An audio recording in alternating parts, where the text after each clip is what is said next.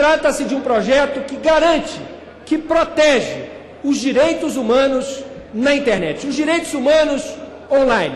E dizia Tim Berners-Lee que esse rico processo participativo que a sociedade brasileira construiu e da qual foi protagonista vai permitir que o Brasil tenha uma grande lei.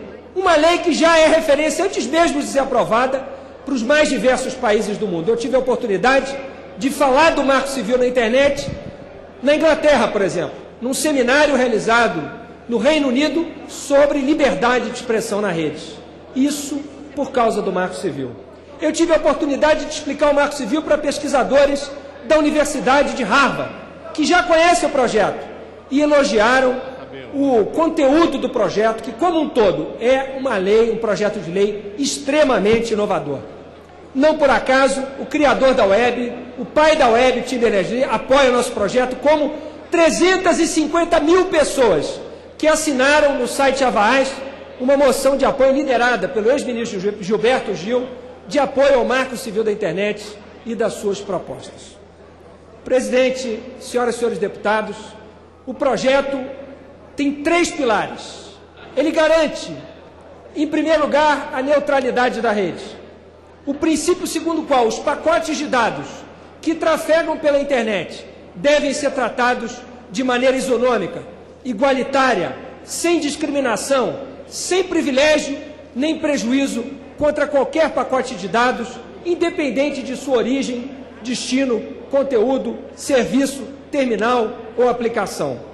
Portanto, uma regra de ouro da internet, que está sendo atacada em outros países do mundo, mas que aqui no Brasil há de encontrar com a aprovação desse projeto uma forte trincheira em defesa desse princípio, que é um princípio dos mais importantes, se não mais importantes, do funcionamento da rede hoje em dia. O segundo pilar, senhor presidente, além da neutralidade da rede, é a proteção à privacidade do usuário. Os usuários da internet passam a ter uma proteção muito maior da sua privacidade com a aprovação desse projeto do que tinham até hoje.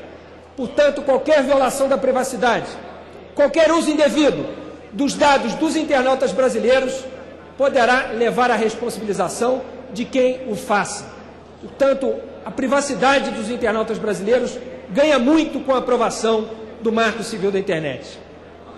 O terceiro e último pilar, senhor presidente, a garantia da liberdade de expressão.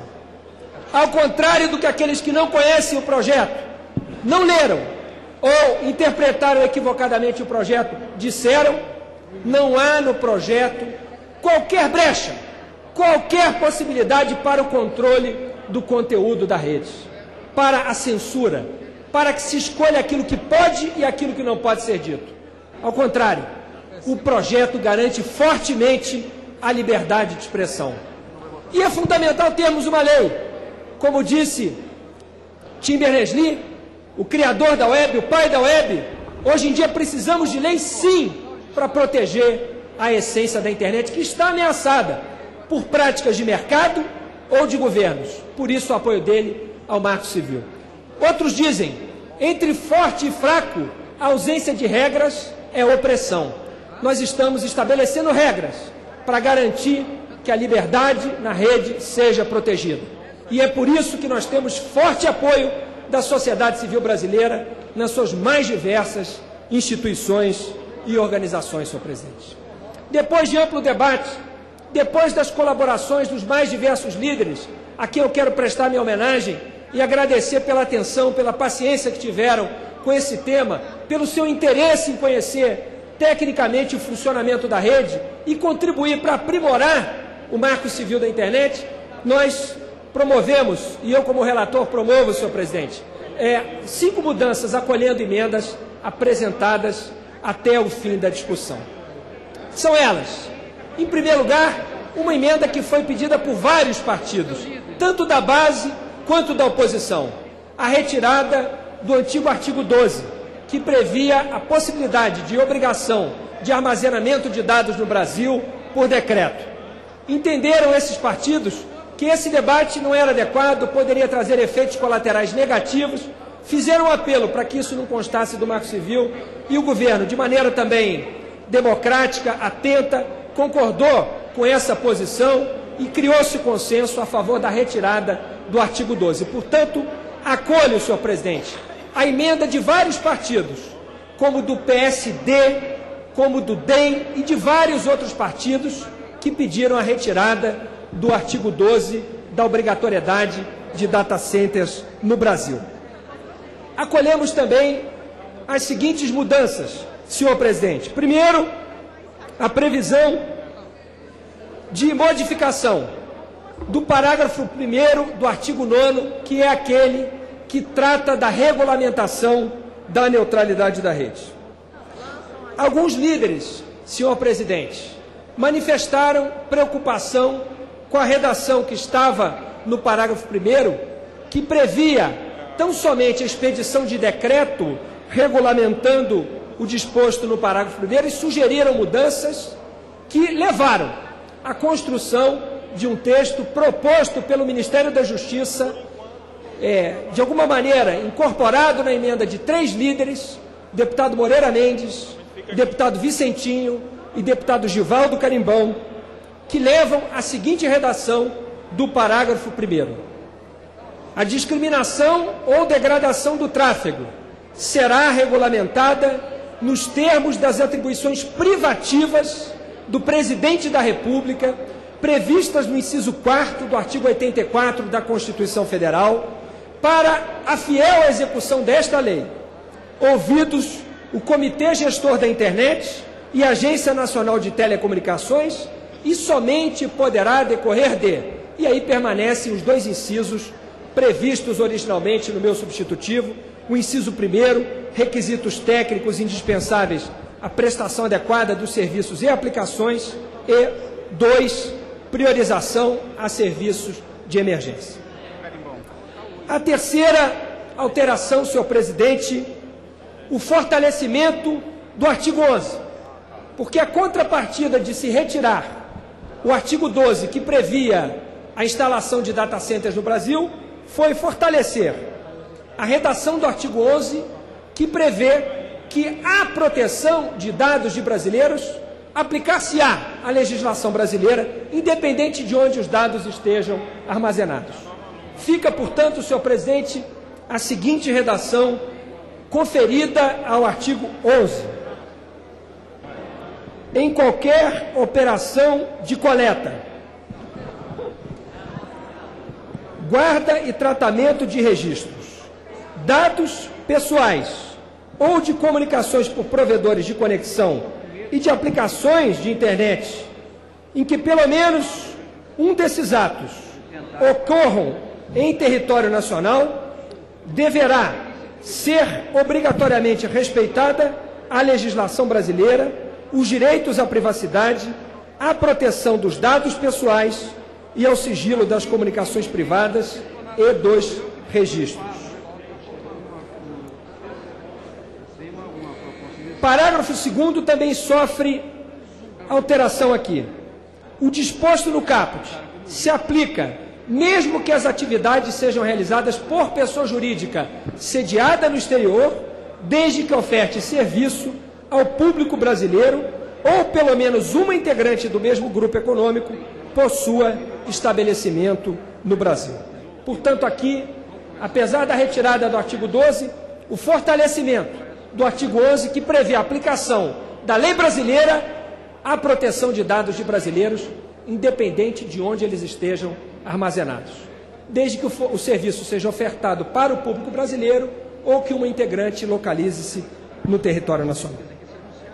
Acrescentamos, senhor presidente, uma modificação, realizamos uma modificação no artigo 21, antigo artigo 22, um pedido da bancada feminina.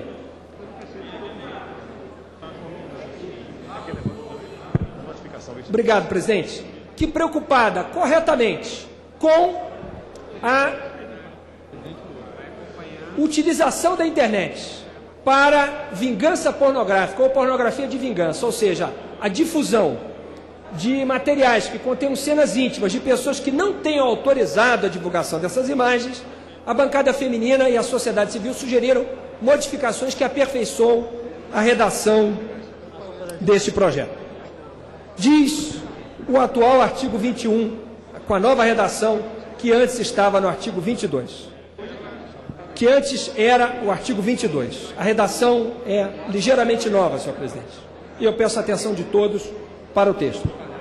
O provedor de aplicações de internet que disponibilize conteúdo gerado por terceiros será, e não poderá ser, será responsabilizado subsidiariamente pela violação da intimidade decorrente da divulgação, sem autorização de seus participantes, de imagens, vídeos ou outros materiais contendo cenas de nudez ou de atos sexuais de caráter privado quando, após o recebimento de notificação pelo participante ou seu representante legal, deixar de promover de forma diligente, no âmbito e nos limites técnicos do seu serviço, a indisponibilização desse conteúdo.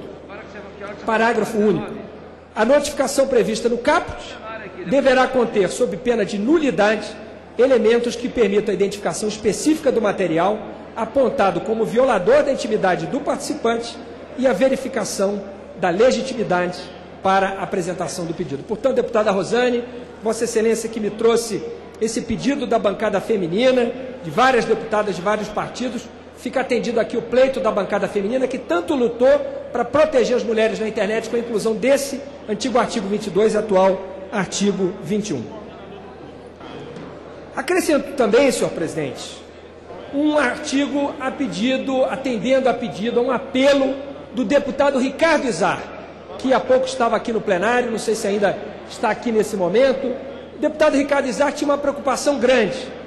E também alguns deputados da bancada evangélica preocupavam-se com a possibilidade de controle parental, ou seja, a adoção, o uso daqueles programas que evitam que crianças, que menores, acessem imagens ou sites é, impróprios para a sua idade.